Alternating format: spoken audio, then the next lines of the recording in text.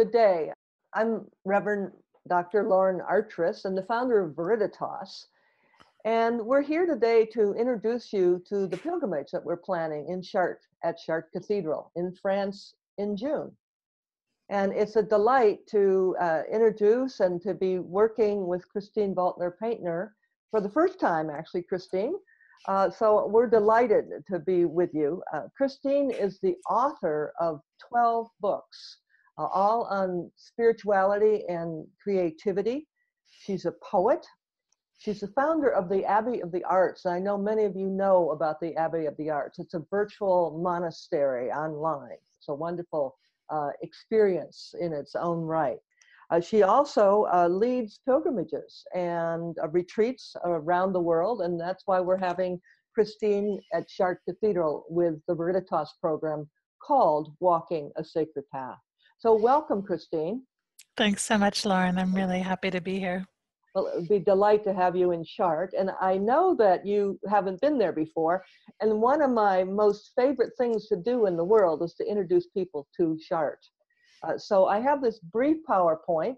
And just to uh, make sure that our listeners and those considering coming to Chartres kind of have their appetite whet for this amazing medieval town as well as the cathedral that sits right in the center of it. So this is the very famous photograph of Chartres Cathedral across the wheat fields. Uh, and this is actually the, the fallow wheat fields, but you can see the cathedral eight miles away. And this is the actual pilgrim's path, uh, Christine, that people traveled across. Mm.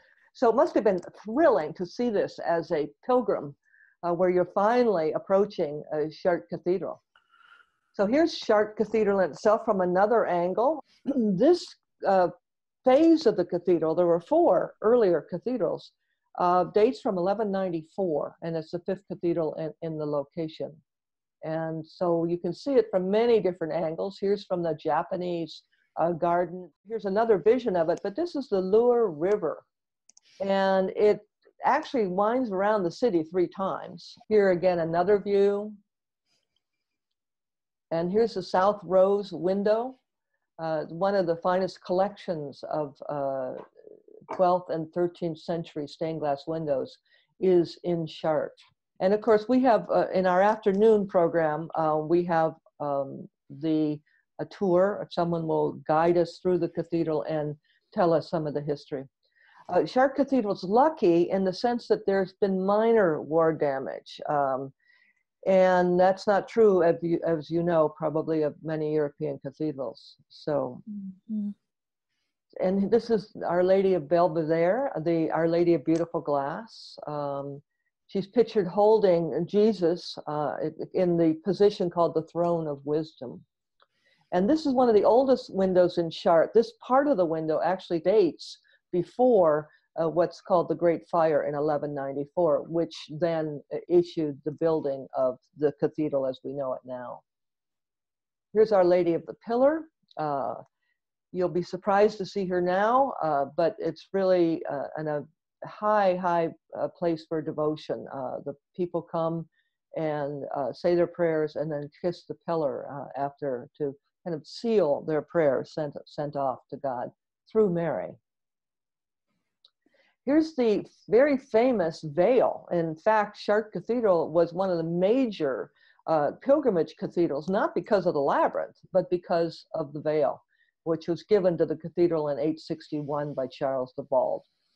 And so um, there's an understanding, a legend, I would say, that this veil was uh, worn at the birth of Jesus um, that's one, or the other understanding is it may have been worn by Mary uh, during the Annunciation. So pilgrims from around Europe came to see this. Now, this is the second, what I would call a, a dark virgin. She's uh, Our Lady of the Sous-Terre, which is under the earth. And she's down in the crypt. And we'll spend considerable time in the crypt uh, during our, our time together. Uh, we'll not only have a tour of the crypt, but we'll also have meditation time down there as well. And it, on Wednesday night in our program, we have a wonderful uh, whole evening, and the cathedral is ours, so to speak, and we'll be doing meditation and the ritual uh, before we uh, go up to the nave level where we walk the labyrinth. And here, here we are. We're in the actually the, the uh, organ loft to take this picture, and this is the labyrinth there on the floor, put there around 1201 or so. Um, the when you're up close, and I, I always uh, show people this, the center of the labyrinth has a big scar in it. It's been ripped up, and that was to make uh, cannonballs out of the brass and lead and copper that was there. This is an odd photograph, but I put it in because it stirs people's imaginations. It looks like he's coming from out of the floor. And there is a rumor uh, that there actually was a trap door in the center of the labyrinth, and that is not so. Um, but this is one of the rare photographs where you see the cathedral with no furniture at all. And this is because one of the major pilgrimage uh, groups is coming, and there's thousands from Sri Lanka and they fill the whole cathedral. Here is the labyrinth as people will see it. it uh, participants to our programs will see it uh, during our private evening labyrinth walk. And sometimes people just think, you know, oh, it's just kind of etched into the floor. This is major, major stonework. Uh, comes from the Bose Quarry about five miles away, and there's amazing stories about how they got that stone there because uh, sits on the highest uh, part of the land. But this is one of the few etching um, of people actually using the labyrinth. Uh, these we've had our archivists uh, date this at 1750, and um, they're in medieval dress and walking the labyrinth. And the labyrinth was a, a layperson's tool. Here's modern day pilgrimage. This is a youth pilgrim, uh, pilgrimage, uh, people leaving uh, from the cathedral to go out and I believe walk up to Notre Dame in Paris. Christine, there's wonderful, wonderful light shows. So this is actually the cathedral, um, but uh, the lights are on the cathedral nightly. It's a sight to behold. I have a few more photos. That looks amazing. Isn't that amazing? Mm-hmm. It, it, really is. Uh, there's a couple other photos. Um, this is actually the labyrinth uh, that is out back. Uh, the Maison. The, here's another photo of the lights. This is on the north porch. Uh, they began to do research, and, and historically, um, as they cleaned it, they began to see that there were many, many colors that had faded away. So, what they did with the lights is capture what was there. Wow. Isn't that amazing? And so, this yeah. was actually what it looked like. Um, the, the cathedral was painted at one time, the early days, because it really represented the New Jerusalem uh, the city of God, the God of jewels and light. So there it is. And here's another angle uh, of it. That lovely. The light shows play every night. They're about 15, 20 minutes long. And they really, uh, the first light show, by the way, they didn't have the labyrinth in it. And now, now they do. So it's, oh. it's advancing as they move. And again, I think this is one of the most beautiful uh, photos of, of Chartres Cathedral. Uh, you can see the Tower of the Moon on the left, the Tower of the Sun on the right, uh, because again, this is a cosmology in itself that uh, when people come, participants come to our programs, they, they have enough time uh, to really learn about the cathedral and learn about the village and sit out at the famous uh, Serpent restaurant and have a glass of wine right at the south entrance and really get a sense of this lovely tempo of the medieval village that surrounds the cathedral. So that literally is glimpses of Chartres. yeah, it looks wonderful. I can't wait. so, so Christine, tell us uh, about your your program.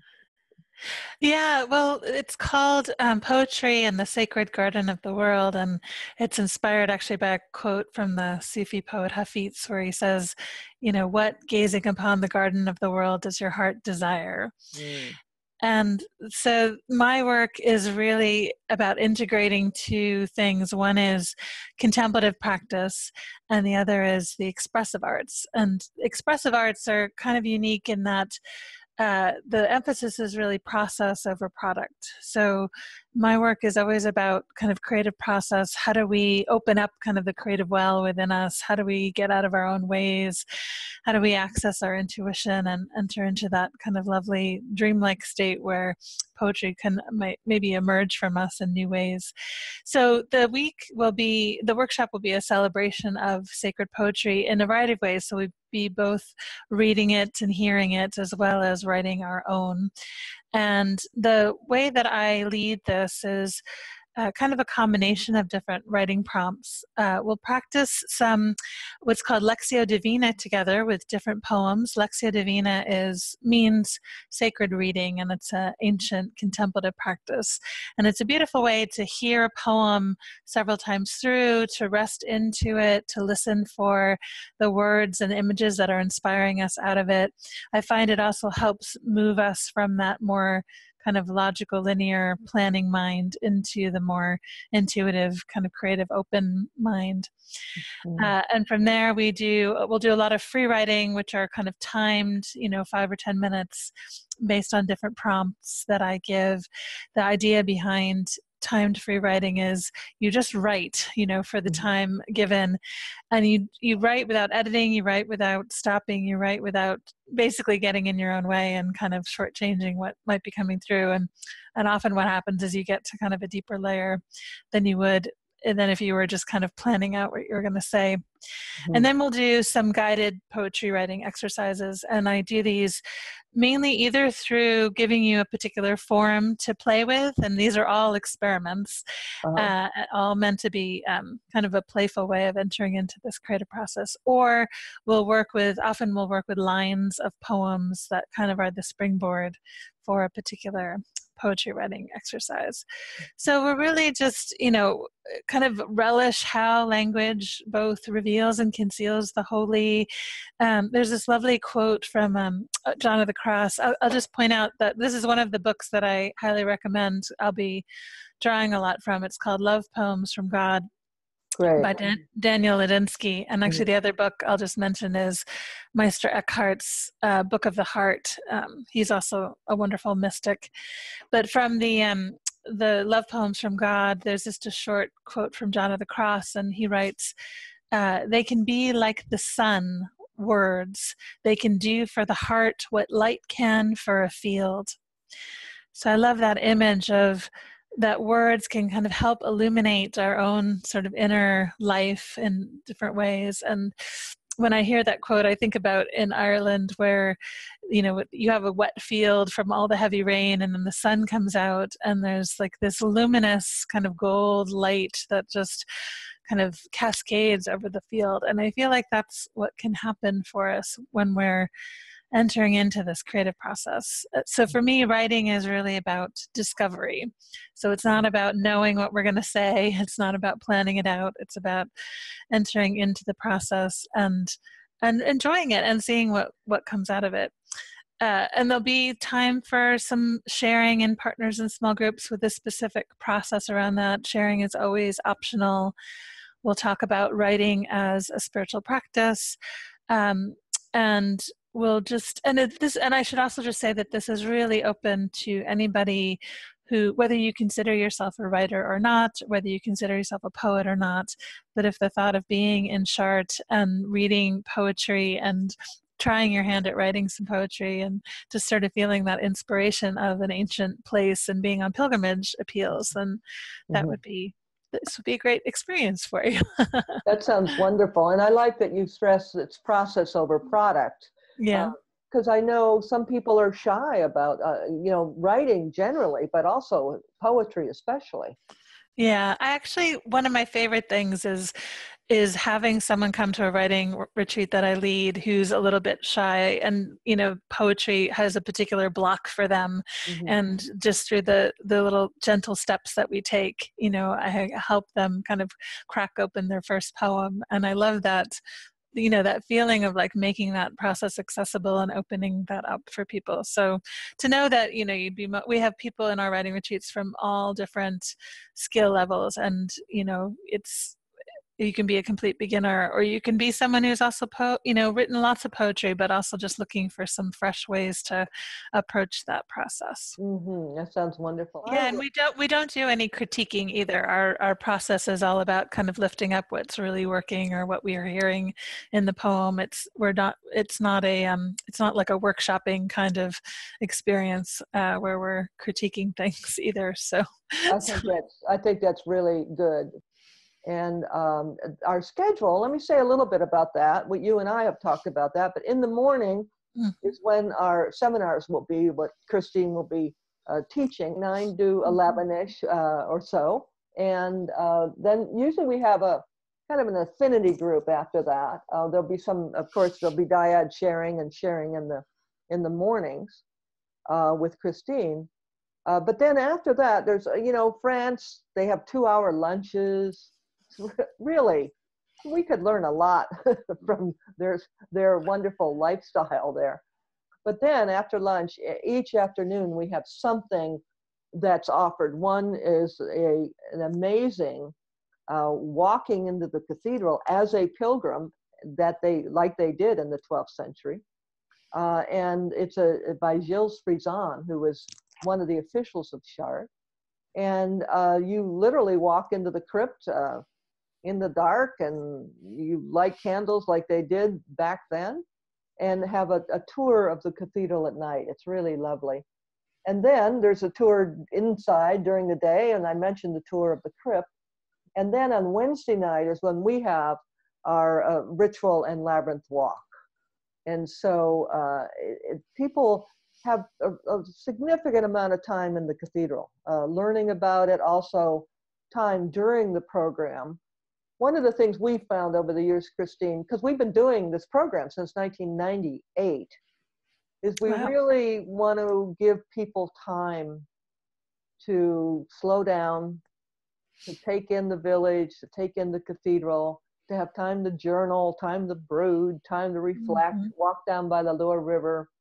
Sounds uh, perfect. yeah, I mean, our, our models so much today are kind of push more information in. And, and uh, coming to Chartres, it really is life changing for many people because they're away from their usual setting and seeing many interesting and beautiful things, uh, as well as the countryside. And then just having time to reflect, uh, to think about where they are in their lives. Um, we find a lot of people come to our programs uh, who are in transition. Mm-hmm. I would imagine you find that as well. Yeah, definitely. People on a threshold of something new. And sometimes people come, they don't realize they're on a threshold until they get there. and then they discover it. that's right.